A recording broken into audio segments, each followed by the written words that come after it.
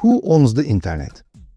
Some people say Google, some say Elon Musk, others think governments. But let me ask you, if the internet had one owner, how could I send a message from Turkey to Kenya in seconds when no single company provides internet in both countries? If one company owned the internet, how could a person in France watch a live stream from tiny island in Pacific that uses completely different provider? If one company owned the internet, how could a message travel from Germany to China instantly, even though the two countries regulate and control internet access very differently? Here's the truth. Nobody owns the internet, but at the same time, everybody owns a piece of it. And that's where it gets really interesting.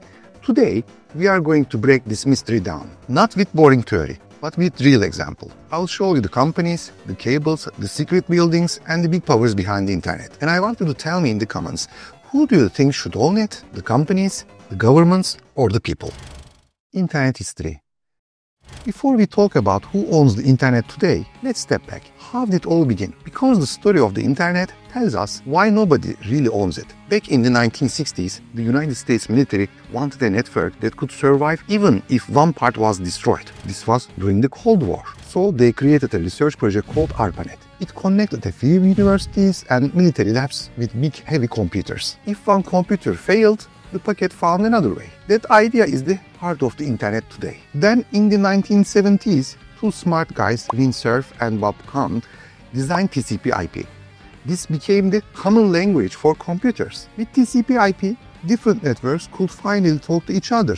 Imagine people from different countries suddenly learning one shared language. That was a huge moment. In the 1980s, the internet started growing beyond the military. More universities joined, the first domain names were created, emails started spreading. At this point, it was still small, but the idea was alive. No central boss, just connected networks. Then came the 1990s, the big boom. The World Wide Web was invented by Tim Berners-Lee. Suddenly, people could click on links, visit websites, and share documents. Companies started offering internet access to homes, dial-up modems, that noisy beep beep sounds.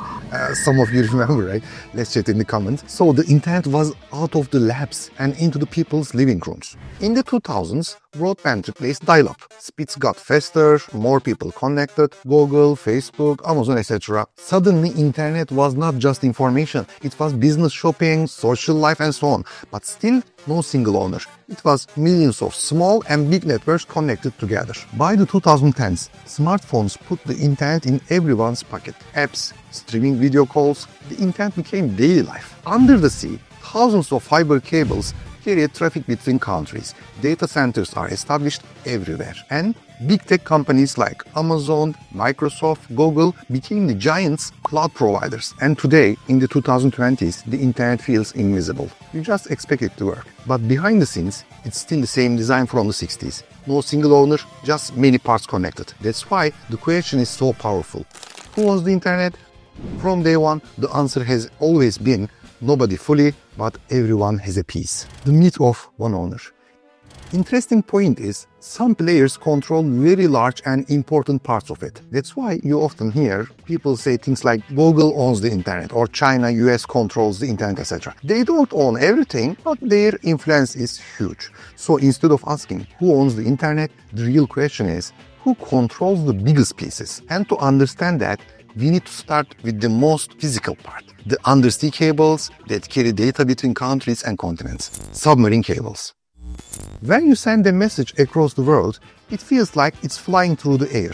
In reality, almost all of it, more than 95% of the global internet traffic travels through the fiber optic cables laid on the bottom of the oceans. These submarine cables are the invisible highways of the internet. The first undersea cable was laid in 1858 not for the internet, but for the telegraph between the US and Europe. Today, there are more than 400 active submarine cables stretching over 1.4 million kilometers. It's enough to circle the Earth more than 30 times. Some cables are legendary. The Marea cable, built by Microsoft and Facebook, runs between Virginia, US and Bilbao, Spain.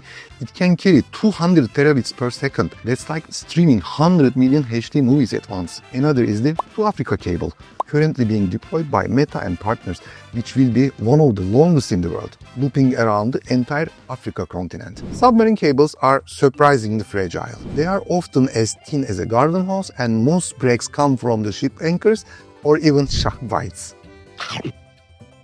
When they snap, repair ships have to pull them up from the ocean floor, sometimes thousands of meters deep, splice them, and carefully drop them back down. What's also fascinating is who owns them. While governments used to dominate, today big tech companies like Google, Meta, Amazon, and Microsoft are some of the largest investors. Why? Because controlling these cables mean controlling massive amounts of global data traffic. So, the next time you watch a video from the other side of the planet, remember, it probably travels across the bottom of the ocean along a cable you will never see. But without it, the internet as we know today, it wouldn't exist. Here is a crazy story. In 2008, a ship's anchor cut a major undersea cable near Egypt. Internet slow for 75 million users in Middle East and India. Just one accident showed how fragile this really system is. Think about it. If one company owns the road, they can decide the speed, the toll, and even who can use it. Question for you. Should companies like Google own the cables that connect entire continents or should it be governments? Let's discuss in the comment section. ISPs and big carriers. Okay, cables connect the continents, but once data hits land, it goes through ISPs, Internet Service Providers. The internet works like a giant ladder of networks. At the very top, we have tier 1 ISPs. These are the biggest players, sometimes called the backbone of the internet. They have networks that span across continents and they connect directly with each other. Because of this, they can reach every corner of the internet without paying anyone else. Below them are tier 2 ISPs.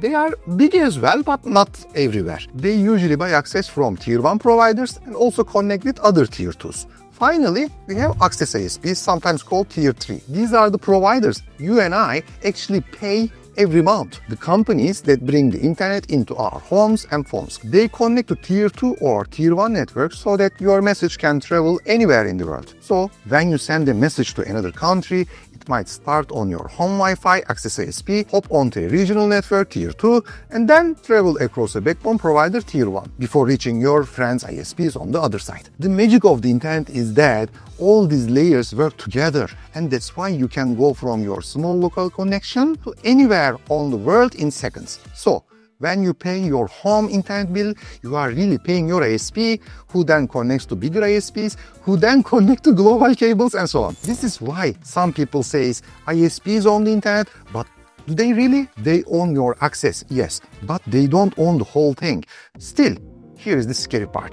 If a government tells an ISP to block something like YouTube or Facebook or uh, WhatsApp, your internet feels broken. So, is that ownership or is that control? That's a thin line. For example, in 2008, Pakistan Telecom tried to block YouTube inside the country, but they accidentally leaked the YouTube IP prefixes to their upstream provider. Result? YouTube went down across the globe for a few hours. Maybe some of you remember that. Definitely write in the comment, please. Also, I want to hear from you. Do you think ISPs should have the power to cut or filter traffic? Or should the internet be free no matter what? Internet Exchange Point, IXPs. Now, here is something many people don't know. The internet doesn't flow in one straight line. Networks have to meet somewhere. That's where Internet Exchange Point or IXPs come in. Imagine a huge airport where flights from many airlines connect and IXP is the same, but for data.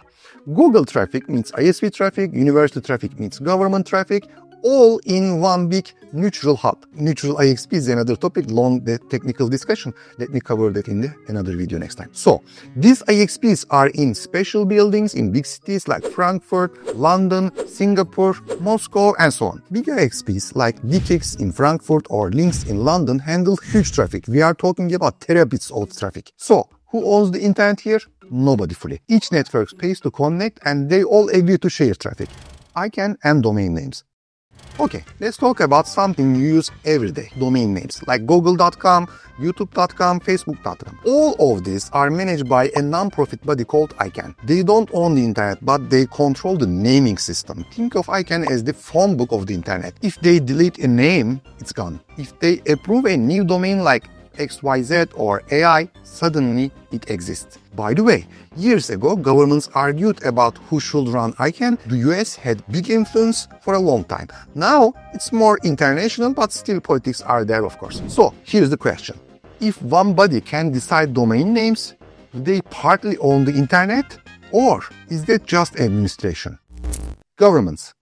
Now, we cannot skip governments. In some countries, the government can shut down the internet. They can order ISPs to block apps, slow down traffic, or even cut the whole internet. Think about China with the Great Firewall. The government doesn't own every cable or website, but all internet traffic going in or out of the country travels through the checkpoints they control. At those checkpoints, they can block certain websites like Facebook, Twitter, or Google and slow down or filter the rest. For example, if you are in Beijing and try to open YouTube, the request never makes it out. It stopped at the gate inside. China, people use local services like WeChat or Baidu instead. So the government doesn't own the whole internet, but by controlling that gate, they can decide what people see and don't see. Or countries that block Twitter, WhatsApp, or YouTube during protests. Unfortunately, this happened many times in my home country as well. Do you know where I am from? So in these cases, the government doesn't own the cables or the technology, but they control the gate where all the internet traffic travels. And when you control the gate, it almost feels like you own the whole network. So now the big question, should governments have this power? Or should the internet be free and neutral for everyone? Big tech companies and the cloud. Finally, let's look at the giants Amazon, Google, Microsoft, Meta. They own cloud platforms like AWS, Azure, Google Cloud, and guess what? A huge amount of the world's internet apps run on them. For example, Netflix uses Amazon AWS, many banks use Microsoft Azure, even small apps you love may run on Google Cloud. So if one cloud company goes down, half of the internet can feel broken. That's massive power. That's why some people say big tech companies owns the internet. Do you agree? Should we worry that only a few companies have so much of our digital life? Comment what do you think? Is this good efficiency or dangerous monopoly? So, who owns the internet? Is it the companies who build the cables? The ISPs who give you the access? The IXPs where the networks meet? The governments who control the gates? Or big tech companies that have these apps that we use daily? The answer is strange. Nobody owns it but everybody controls a piece of it. The internet is powerful because no single person or country can own it at all, but at the same time, that makes it fragile. One cable cut, one policy change, one giant cloud provider outage, and millions of people feel it. So, let me ask you this if you had the power, who would you give control of the internet to? Governments, companies, or the people? I want to hear your thoughts in the comments. And hey, if you enjoyed this breakdown, don't forget to like the video, subscribe to the channel, and make sure notifications are on so you don't miss the next internet discussion, because we are just getting started. Enjoy studying with OrhanErgun.net.